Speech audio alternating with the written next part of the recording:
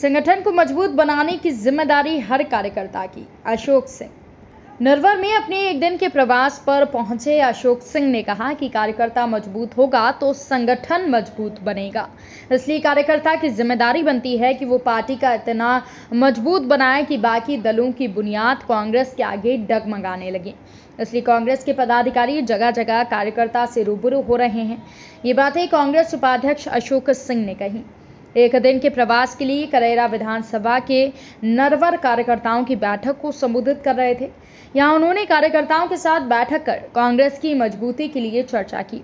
उन्होंने कहा कि कांग्रेस कार्यकर्ता इतना कुशल और जुजारू हो कि उसके सामने परिस्थितियाँ कोई भी हों कांग्रेस का झंडा लहराते रहना चाहिए। उन्होंने कार्यकर्ताओं को कहा कि लोगों के बीच जाकर केंद्र सरकार की किसान विरोधी और भाजपा की कथनी करनी के बारे में बताएँ और केंद्र की मोदी सरकार जन विरोधी नीतियों के बारे में लोगों को बताएँ। इसके बारे में लोगों से चर्चा करें। कार्यक्रम में मंच संचालन साबिर खान ने किया। इसमें लोगों ने संगठनात्मक चर्चा की। इस मौके पर जिलाध्यक्ष श्री प्रकाश शर्मा मान सिंह फौजी साबिर खान विधायक प्रागीलाल जाटा ब्लॉक अध्यक्ष कलूराम कुशवाहा माधो गुर्जर के साथ ये राज महेश्वरी सुशील तिवारी हबीब खान के अलावा कार्यकर्ता उपस्थित थे। जिसमें हमारे जो किसान भाई जो प्रभावित हुए हैं जो गरीब लोग प्रभावित हुए हैं उसको लेके मीटिंग की जिससे कि जो आज भी भारतीय जनता पार्टी आज भी अधिकारियों ने जो आर सी छः चार के तहत जो मुआवजा देना चाहिए आज एक महीना का जो नियम है एक महीना आर बी सी छः चार में तो वो पूरा नहीं किया आज भी। और हमारे किसानों की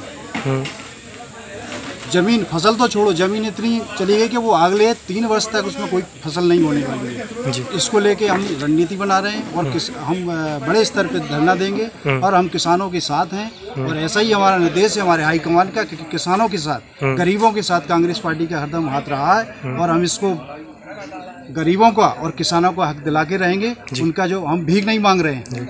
नहीं देखिए सारी पार्टियाँ जो औपचारिक रूप पे तैयारी करती हैं वो भी हमारी तैयारियाँ चल रही हैं। बूथ लेवल पे। और हमारा हर कार्यकर्ता बहुत मज़बूत है और जो ताकत से काम कर रहा है और हम 2023 में माननीय कमलनाथ जी के नेतृत्व में माननीय राजा साहब के नेतृत्व में हम मध्य प्रदेश को पुनः फतेह करेंगे और हम किसानों की सरकार होगी। माननीय अशोक सिंह जी कोषाध्यक्ष बने प्रदेश के। जिनका सम्मान समारोह था। संगठन मज़बूत हो संगठन का विस्तार हो। जी। और एवं हमारी सरकार सत्ता में कैसे आए उस पर विचार किया गया आज की मुख्य मीटिंग में। किसान साथ साथ और ब्लॉक के सभी कार्यकर्ता सेक्टर के कार्यकर्ता सभी लोग आए।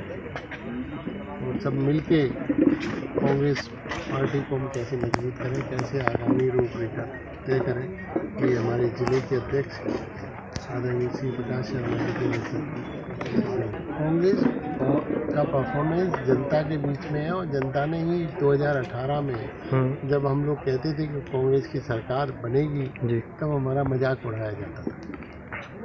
2023 में तो जनता खुद ही कह रही है कि इस बार कांग्रेस की सरकार निश्चित तौर से परफॉर्मेंस अच्छा रहेगा और आगे भी भविष्य में यहाँ। इसके लिए कांग्रेस की तीन बार बन गए ना विधायक। सभी लोग प्रयास करेंगे जी। कि अच्छी परफॉर्मेंस रहे और कार्यकर्ताओं में और हमारे विधायक उपगणों में सब में संपर्क एक देश बेचे इंडिया ऑन सेल होने वाला है। जी।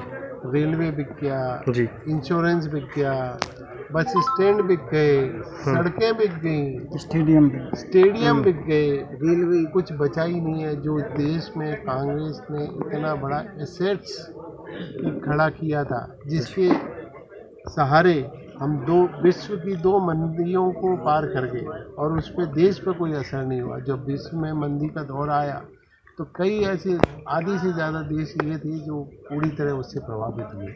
लेकिन भारत अकेला एक देश था विश्व शक्तियों के बाद, जो इस मंदी से प्रभावित नहीं हुआ।